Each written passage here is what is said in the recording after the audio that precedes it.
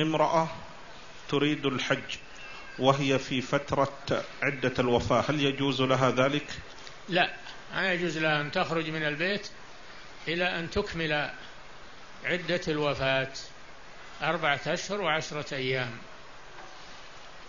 لقوله صلى الله عليه وسلم امكثي في البيت إلى أن يبلغ الكتاب أجله.